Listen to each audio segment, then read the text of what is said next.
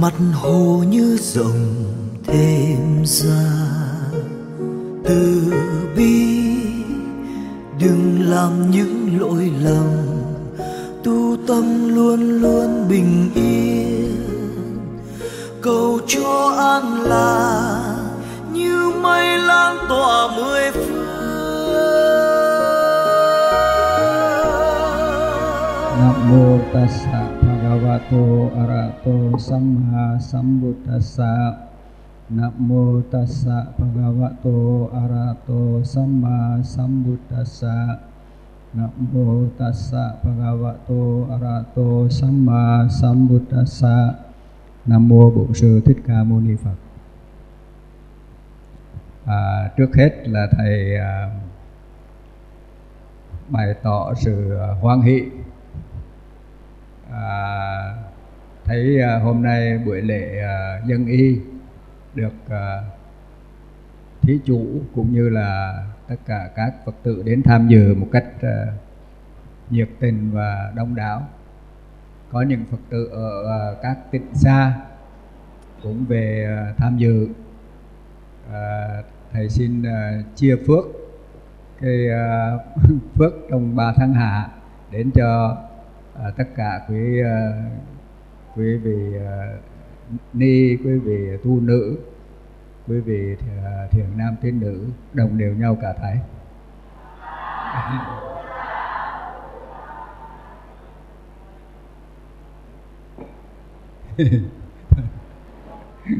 thầy nói hơi nhỏ. thường á, thì à, trong các buổi lễ dân y á, người ta à, các vị pháp sư á, thường giảng về cái ý nghĩa lễ dân y nhưng mà thầy nghĩ là ý nghĩa lễ dân y thì ai cũng biết rồi. À, cho nên á, là thầy à, với lại á, là thầy cũng cũng chỉ à, muốn chia sẻ những điều gì mà thật sự là thầy thầy biết tức là có gì thì mới chia sẻ đấy chứ và cho nên là hôm nay thầy sẽ giải thích một số những cái từ mà thầy thường dùng trong các cái à, pháp thoại của thầy hay là trong cái à, hướng dẫn à, cho các à, Phật tử tu tập trong à, 20 khóa tu vừa qua. Trong đó có một số từ à, cơ bản mà mình phải cần hiểu rõ. Bởi vì nếu mình không hiểu rõ thì à, có ai hỏi có khi mình nói sai đi. À, quý vị có nghe thầy à, giảng nhưng mà rồi có khi ai hỏi hoặc là họ có cái à, cái gì đó tức là họ thắc mắc gì đó, đó thì mình lại không giải thích được do đó mà thầy cần giải thích một số cái từ mà thầy thường, thường dùng trong cái các buổi giảng. Và mà trong cái các buổi giảng đó chủ yếu là hướng dẫn đời sống tu tập à, cho quý phật tử trong đời sống hàng ngày. À. vì những cái từ mà mà thầy sử dụng á, là để cho nó, nó dễ hiểu và nó nó cụ thể hơn nhiều khi những cái từ ở trong kinh là và nhất là những cái từ chữ hán. Cho nên là có nhiều khi mình khó hiểu.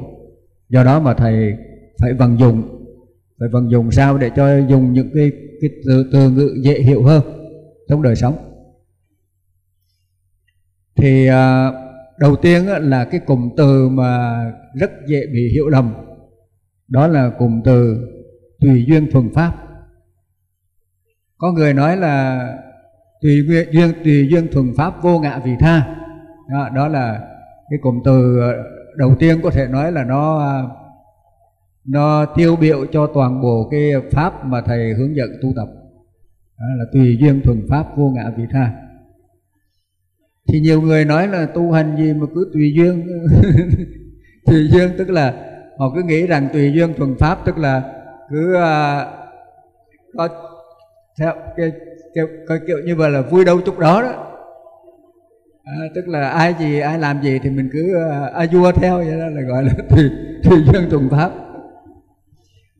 Nếu mà nếu mà giải thích như vậy hoặc là hiểu như vậy thì thì sai cái à, cái ý mà thầy muốn uh, chia sẻ. Cái uh, chữ tùy duyên ở đây đó có nghĩa là dù là bất kỳ cái hoàn cảnh cái điều kiện hay là cái tình huống nào trong đời sống. Cái ờ, dù đó là thuận hay nghịch, dù đó là được hay mất, hơn hay thua thành hay bài vui hay khổ, vinh hay nhục, đó, tùy theo, tùy tùy vào những cái hoàn cảnh mà mình mình gặp phải trong đời sống. Trong đời sống không phải là lúc nào mình cũng thuận thuận lợi, không phải lúc nào cũng như ý mình. Mà có khi thì được khi mất khi hơn khi thua khi thành khi bài khi vui khi khổ. À, thậm chí là có khi vinh khi nhục. Nhưng mà trong tất cả những cái tình huống đó tùy theo cái cái tình huống đó mà mình nhận thức và hành vi sao cho đúng tốt thì gọi là thuần pháp. Tức là dù là thất bại thì mình cũng phải sống sao cho cho đúng pháp. Dù là thành công thì cũng phải sống sao cho đúng pháp. Có khi có nhiều người à, à, thất bại thì lo tu hành nhưng mà thành công cái là, là lo ăn chơi chẳng hạn. Thì như vậy là là không thuần pháp. Bây giờ mình thất bại mình vẫn là sống uh, nhận thức và hành vi đúng tốt. Mà dù mình thành công mình cũng phải là nhận thức và hành vi đúng tốt chứ không phải là à, vì thất bại mà mình đâm ra là sống à, buông thả. Có nhiều người thất bại cái là sống buông thả luôn. À, và thậm thậm chí có thành công cái rồi thì bắt đầu lại là có điều kiện để sống buông thả. À, vì vậy tức là trong những cái à, cái hoàn cảnh mà mình à, mình gặp phải trong đời sống thì á, nó có một cái điều cái điều này nữa tất cả những điều gì mà mình gặp phải trong đời sống đều có liên hệ đến cái sinh nghiệp của mình. Chứ không phải tự nhiên mà nó có.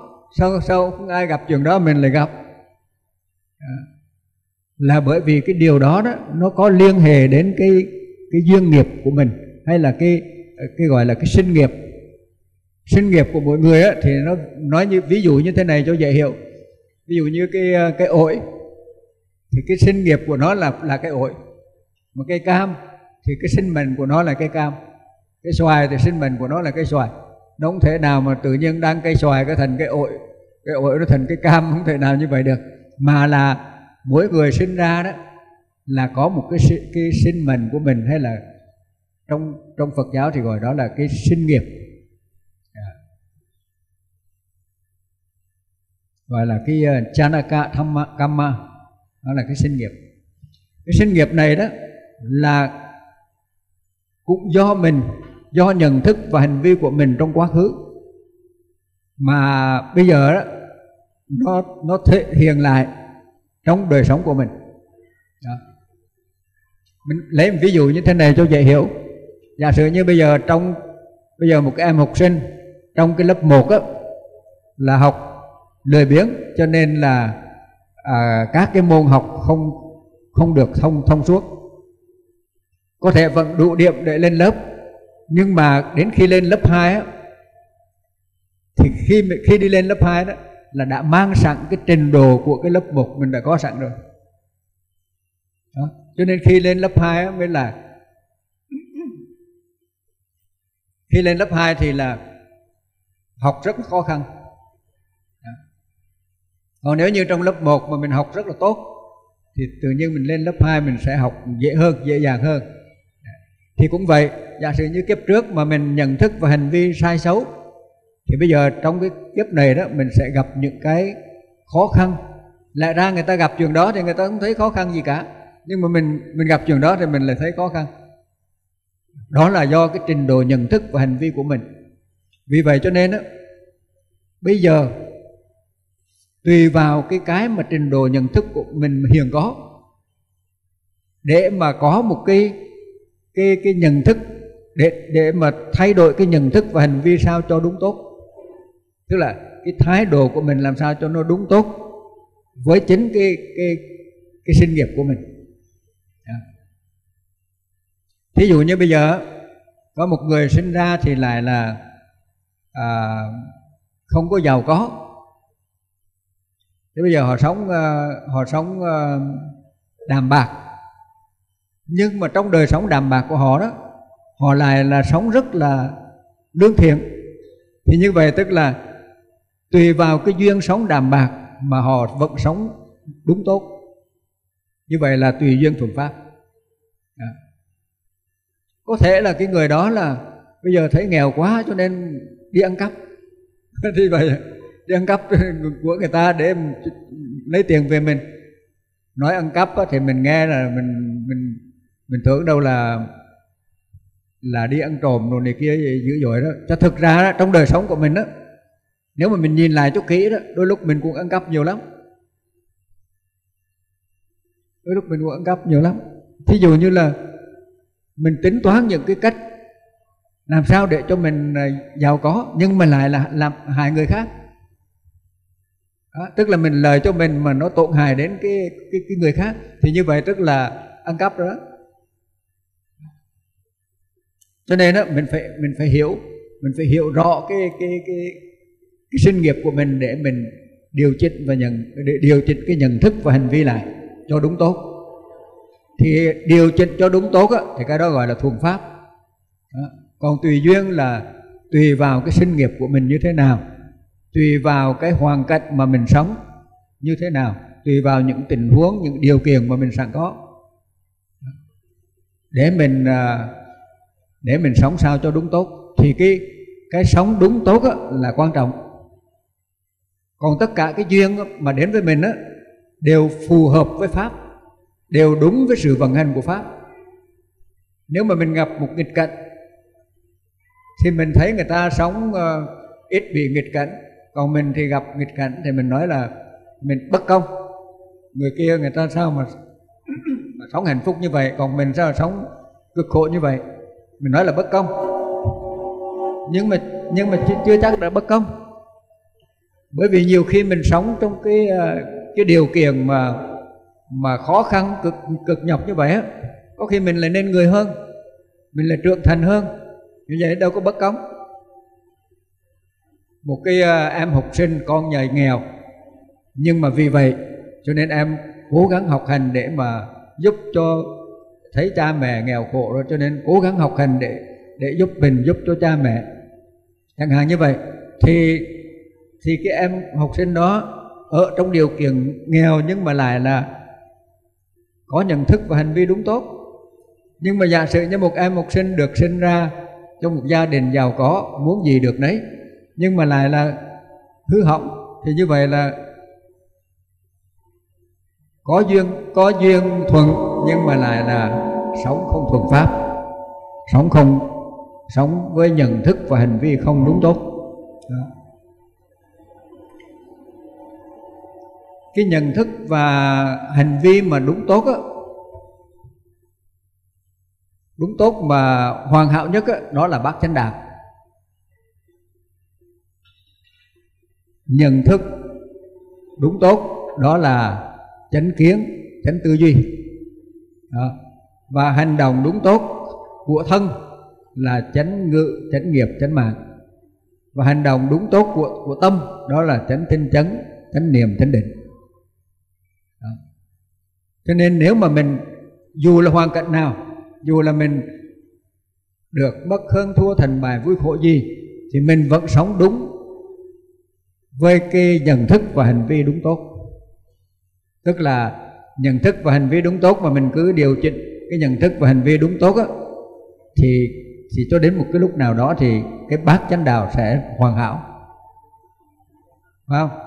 Nhưng mà sự hoàn hảo này á, mình cũng nên mở ngoặt một chút xíu. Hoàn hảo không phải là mình cố gắng rèn luyện cho đúng tốt.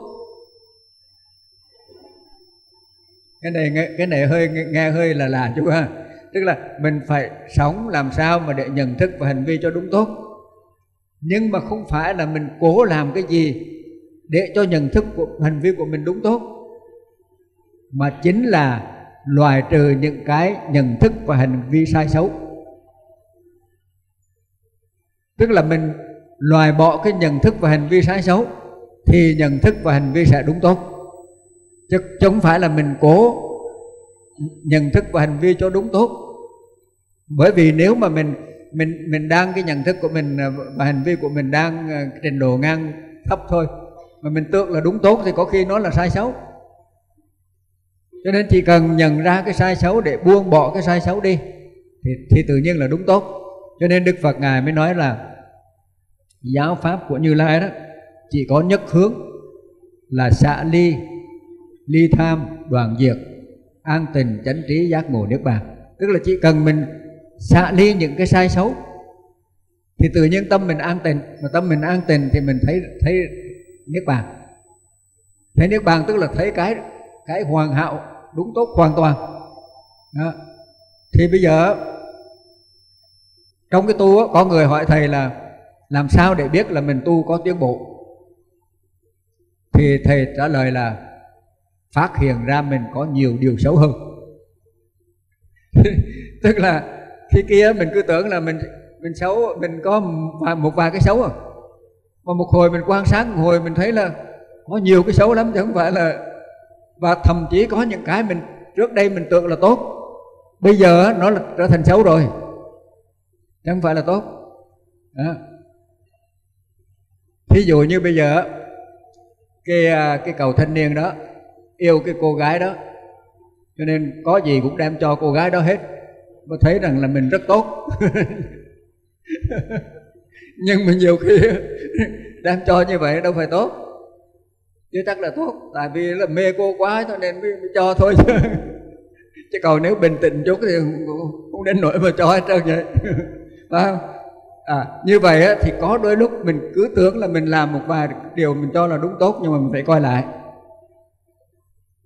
Ngay cả cái việc à, mình à, làm phước ở đây chẳng hạn thì thì nếu mà cái làm phước đó đó, mà nó đúng vào hai cái cái yếu tố, thì thì lúc đó mới thật sự gọi là phước. À, hai yếu tố đó là gì? Một á, là mình làm bởi vì tâm không có ích kỷ, không có sang tham ích kỷ. Tức là tâm mình không có không có keo kiệt, không có vọng sẹo cho nên mình mới có khả năng để mà mà chia sẻ ra. Hay là cúng trong cúng dường hay bố thí hay cái gì đó. Mình mới là có cái khả năng chia sẻ. Như vậy á cái cái cái sự mà cái sự mà buông bỏ à, bớt cái cái cái cái chấp cái sở hữu của mình đi để mà chia sẻ đó là cái đó là phước đó. Cái thứ hai là vì cái tâm vị tha năm vị tha. Tức là một mặt là cho nên người ta dùng cái từ là xạ kỵ vì tha hay là vô ngã vì tha. Đó, vô ngã vì tha xạ kỵ vì tha. Tức là bỏ bớt cái cá nhân cái, cái quyền lợi hay là cái gì của, của cá nhân của mình đi để chia sẻ cho người khác. Đó là xạ kỵ vì tha. Thì như vậy á thì mới đúng. Còn nếu như mình làm mà bởi vì một cái lý do nào đó chẳng hạn như mình làm để cho được danh tiếng ví dụ vậy. À, hay là mình làm để mà được ờ, quyền lợi gì đó. Thì lúc đó đó cái việc làm đó nó lại là nhìn cho thật kỹ thì cái việc làm đó nó lại vẫn còn có thể là có thể việc làm đó vẫn tốt nhưng mà nó vẫn còn một phần xấu ở phía sau đó. Cho nên mình phát hiện được cái xấu đó để mình bỏ dần bỏ dần cái xấu đó đi đó thì tự nhiên nó sẽ trở nên tốt nó trở về lại với cái tốt. Có cái điều là thế này. Mọi cái tốt là mình đã có sẵn. Nhưng mà mình không nhận ra được cái tốt đó mình không sử dụng được cái tốt đó. Cho nên đức phật ngài mới là giới thiệu cho mình.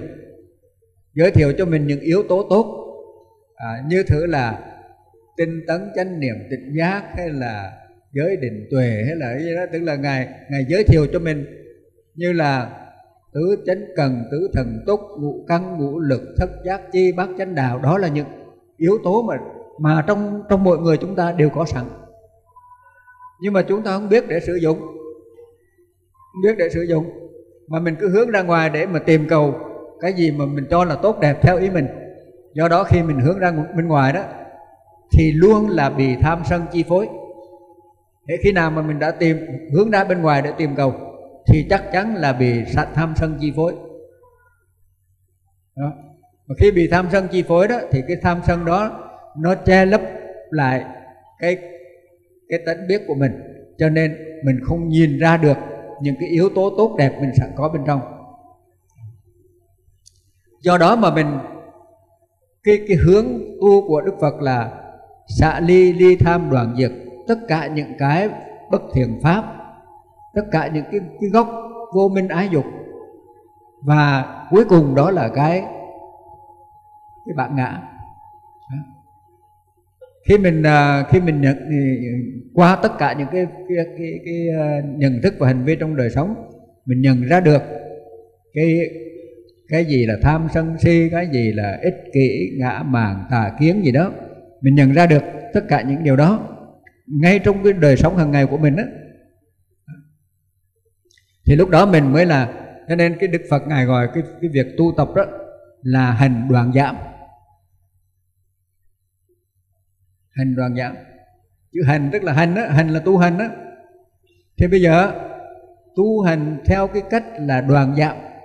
Đoàn giảm dần những cái cái tham cái sân cái si cái ngã màng cái tà kiến cái đố kỳ cái này kia đó, ích kỷ đó, đó là là mình đoàn đoàn giảm dần những cái đó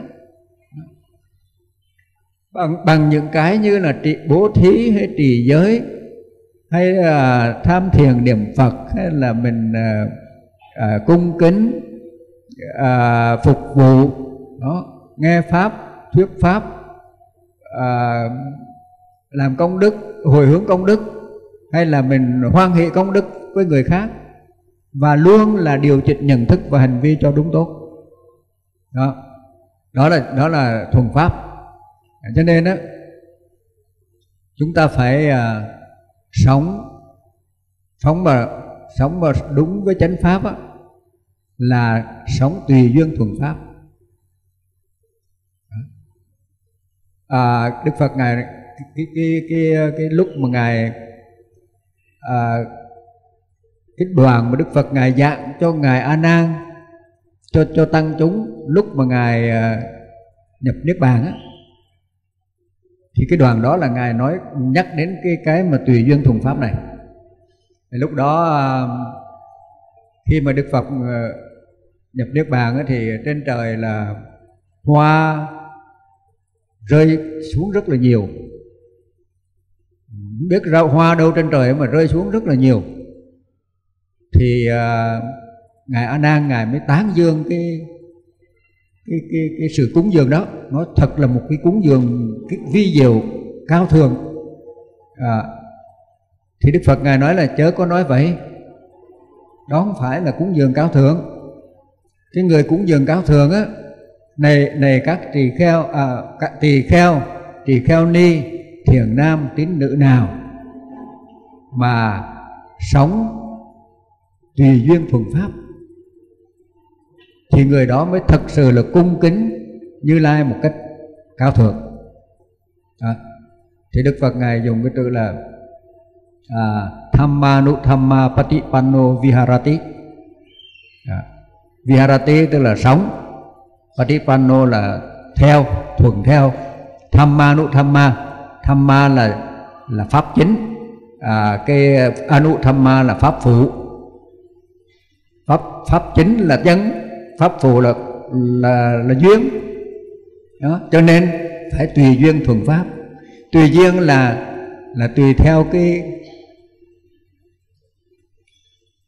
tùy theo cái cái cái điều kiện, cái cái cái hoàn cảnh, tùy theo cái, và thuần pháp tức là nhân đúng tốt, tức là trong đó nhân nhân có nhân và duyên.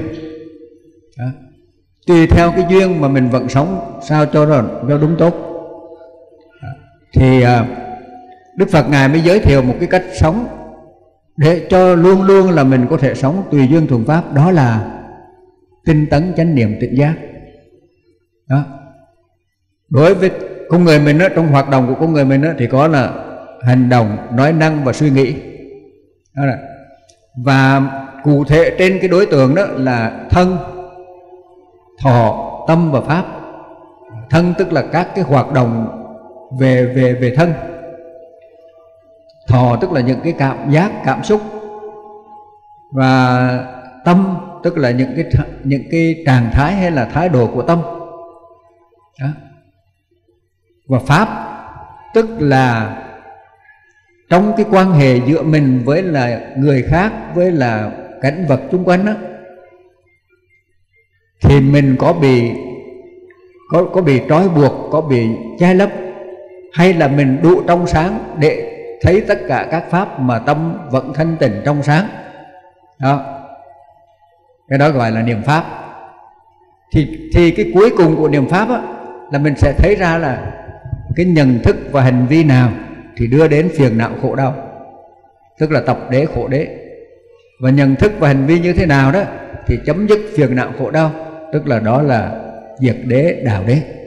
Đó thành ra cái cái cuối cùng cái cuối cùng của cái mắt thấy sắc tai nghe âm thanh tức là trong đời sống đó à, dạ, mà mình tâm mình vẫn là thanh tịnh trong sáng chứ không bị che lấp trói buộc và mình à, không bị dính mắc thì như vậy tức là là giác ngộ giải thoát đó. cho nên đó, là đức phật ngài nói là ở trong cái kinh tăng chi bộ kinh đó, thì đức phật ngài nói là có à, có một pháp dẫn đầu tất cả thiền pháp đó là thần trọng à, đó là thần trọng đó là không buông lung phóng dật. Mình nói là mình dùng từ thần trọng cũng được hay là mình dùng từ là không buông lung phóng dật cũng được. Thì vì vậy cho nên, cái cái tinh tấn chánh niệm tỉnh giác, thì nhiều khi là ít người hiểu đúng cái tinh tấn chánh niệm tỉnh giác lắm. Nên để cho nó dễ, cho trong cái việc mà tu tập hàng ngày cho nó dễ, thì thầy chia cái tinh tấn chánh niệm tỉnh giác ra thành bốn bốn cách. Bốn cách để thực hiện cái tinh tấn chánh niệm tỉnh giác đó. Mà tinh tấn chánh niệm tỉnh giác đó chính là giới định tuệ giới định tuệ tức là bát chánh đạo đó. giới định tuệ bát chánh đạo tinh tấn chánh niệm tỉnh giác đó chính là đạo đế mà đạo đế thì không có sinh không có sinh ra cái cái ờ, tập đế khổ đế cho nên đó, là ờ, khi mà mình cái tâm mà đúng với cái cái cái ờ, đạo đế đó thì lúc đó mình sẽ thấy được cái sự tịch tình của các pháp là niết bàn cho nên ấy, khi tâm thanh tịnh thì thấy các tất cả các pháp đều thanh tịnh. Thì à, thầy mới vận dụng ra bốn cái bốn cái cách. Đây là những cái những cái điểm mà chính yếu trong cái trong cái pháp mà thầy hướng dẫn đó. bây giờ nói à, cho mọi người dễ hiểu. Chẳng hạn như bây giờ một em nhỏ mà mình nói tinh tấn chánh niệm tỉnh giác là nó không biết cái gì cả. Mà ngồi giải thích cho nó chưa chắc nó đã hiểu. Nhưng mà bây giờ nói rằng là bây giờ con phải thần trọng chú tâm quan sát thì nó sẽ hiểu hơn. Nó sẽ rất dễ hiểu. Bởi vì cái từ đó có thể là cái từ rất thông thường ở giữa đời. À, ngoài đường đó ngoài đường đó là mấy cái chỗ mấy chỗ nào quan trọng người ta đều đề là chú ý quan sát. À nhưng mà nhưng mà nếu mình nói cho đủ để có cả giới định tuệ đó, thì nó phải nó thần trọng chú tâm quan sát. Cũng có nhiều nơi đó thì họ chỉ cần đề một chữ thần trọng thôi. Ví dụ như đi vô lên cầu thang máy hay là cái gì đó thì họ chỉ cần họ họ đem cái chữ là caution hay là cái gì đó, tức là thần trọng thôi. Đó. thì á, thì trong đời sống hàng ngày đó có một cái người phật tử ở bên úc á, nói với thầy là con đã ứng dụng cái ờ, thần trọng chú tâm quan sát để mà giúp cho những cái người ờ, bởi vì cái cái cái người phật tử này đó là phục vụ trong một cái ờ, cái nhà dưỡng lão. Nhà dưỡng lão tức là chăm sóc cho những người già đó thì khi mà chị này mà ứng dụng cái cái mà thần trọng chú tâm quan sát để giúp cho những người già đó thì hiệu quả rất là lớn. Bởi vì người già mà nó thiếu thần trọng chú tâm quan sát là dễ bị té bị cầm đồ dễ bị rơi. À, tức là rất dễ bị nếu mà thiếu thần trọng chút là hư hỏng hết. Cho nên đó mình thấy là thần trọng á nó tương đương với tinh tấn nó tương đương với giới à, chú tâm á, là nó tương đương với là à, chánh niệm tương, tương, tương đương với là định. Và quan sát á, là tương đương với trí tuệ tương đương với tịnh giác. Cho nên á, thần trọng chú tâm quan sát là một cách thể hiện cái tinh tấn chánh niệm tịnh giác. Mà nó dễ hiểu mà cụ thể. Bây giờ thật ra đó mình nó mình tu quá nhiều thứ rồi cái thứ nào mình cũng ham tu hết trơn á.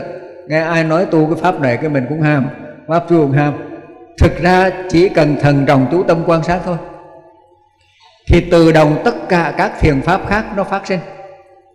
Chứ không phải là mình mình cứ nói là ô tôi tôi tôi có, có chừng này uổng quá tôi phải tu thêm cái kia tu thêm cái nọ. Nhưng mà nó không phải. Theo nguyên lý của đạo của của pháp là thế này. Hệ mình có một thiền tâm hệ mình khởi lên một thiền tâm thì nó đi theo tất cả các thiền tâm sở chứ không phải là mình chứ không phải là mình mà có cái thiền tâm này cái nó chỉ có cái thiền tâm này không thôi. Mà hệ mình khởi lên một cái thiền tâm. Thí dụ như là bây giờ mình có cái mình có cái tâm à, à, giúp đỡ người khác. Mình à, mình chia sẻ cho họ một cái gì đó. Thì mình mình thấy là chỉ có chừng đó thôi. Nhưng mà thực ra trong đó đó là nó có tín niềm tàm quý vô tham vô sân. Tâm xã đó. tâm nhu nhuyến tâm khinh an tâm, mà thư thái đủ thứ trong hết á. Hệ một cái tâm thiền thì nó là kèm theo tất cả những cái tâm sợ thiền. Cho mình cũng cần phải ngồi mà tính toán là bây giờ tôi phải ờ, tính sao mà để cho nó có cái, cái yếu tố này yếu tố kia không phải vậy. Thế mà đã là trái ổi thì trong đó nó sẽ tự động nó sẽ có những cái yếu tố của cái ổi của trái ổi. Cho mình tính toán ờ, là mình nói là bây giờ tôi mua trái ổi nhưng mà tôi phải mua đủ những cái yếu tố của nó kia. Cần như vậy chỉ cần mua trái ổi là nó cả đầy đủ các yếu tố của trái ổi trong đó rồi. À, thì cái tâm thiền cũng vậy. Mình chỉ cần khởi lên tâm thiền thì nó đã có đầy đủ những cái tâm sợ thiền trong đó rồi. À, cho nên đừng có tình cần tính toán nhiều. Chỉ cần á thần trọng chú tâm quan sát thôi. Là đủ rồi. Đó. rồi á đó là khi nào mình làm cái việc gì đó thì mình mới cần thần trọng chú tâm quan sát nhé chứ bây giờ mình ngồi không vậy mà mình thì đây cũng cần phải thần trọng chú tâm quan sát quá nhiều. Và cái mức độ mà thần trọng chú tâm quan sát á, nó cũng khác nhau. Khi làm một việc gì thật khó đó thì thần trọng chú tâm quan sát nó tự động tăng lên. Mà làm việc dễ dễ đó thì tự động thần trọng chú tâm quan sát sơ sơ là đủ rồi đó. và khi mà mình không làm gì cả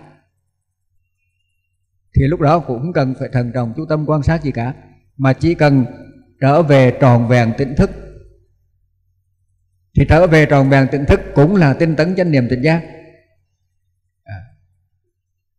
tại sao mà trở về tròn vẹn tỉnh thức bởi vì khi mà thường thường đó, mình ngồi á mình ngồi lại á là thường nó tâm nó chạy lang thang. Khi mình làm việc á tâm á, là nó nó theo cái việc đó cho nên nó đỡ lang thang hơn. Nhưng mà khi mình ngồi lại ngồi lại một chỗ đó là tâm nó chạy lang thang liền. Vì vậy cho nên á, nếu mà mình trở về tròn vẹn tỉnh thức với cái thân thọ tâm pháp đang là đó thì tự nhiên mình sẽ không tâm nó sẽ không chạy lang thang nó không có vòng đồng mà không chạy lang thang vòng đồng thì nó sẽ sáng suốt nó sẽ rõ biết cái thân thọ tâm pháp như thế nào. Đại khái là vậy. Cho nên đó khi mà mình không có à, khi khi không cần làm chuyện gì mà cần phải thần trọng chú tâm quan sát, thì mình chỉ cần trở về tròn vẹn tỉnh thức với cái khoảnh khắc mình đang làm. Vậy thôi. Đơn giản là vậy đó. Và khi mà mình làm được hai cái điều này khi nào mình làm thì thận trọng chú tâm quan sát. Không thì mình trở về tròn vẹn tỉnh thức. Là cứ như vậy, một thời gian, thì tự nhiên mình thấy bỗng nhiên có một cái hôm, mình thấy, ủa, sao tâm mình có khi không làm gì cả mà nó vẫn cứ trong sáng? Có có đôi lúc, mình đâu có tu, cũng, mình có vẻ như là một ngày nào mình cũng phải cố tu rồi dữ rồi lắm. Nhưng mà có một một hôm tự nhiên mình thấy mình chưa có tu gì hết trơn mà tự nhiên nó vẫn là, nó vẫn là sáng suốt định tĩnh trong lành. Cái tâm nó vẫn sáng suốt định tĩnh trong lành. Thì lúc đó mình mới chợt nhận ra rằng á, đúng là đức phật ngài dạy rằng là cái bản tâm của mình á, vốn là cái pasara chitta là cái tâm nó nó vốn là nó thanh tịnh trong sáng. Bây giờ nếu bây giờ mình làm một cái việc gì? Với cái tâm mà sáng suốt định tĩnh trong lành. Tức là lúc đó mình đang tinh tấn chánh niệm tỉnh giác rồi. Chứ không phải cần là hệ mà có, có đôi lúc mình theo một cái phương pháp thực hành rồi mình cứ lúc nào cũng cố mà mà thần trọng chú tâm quan sát.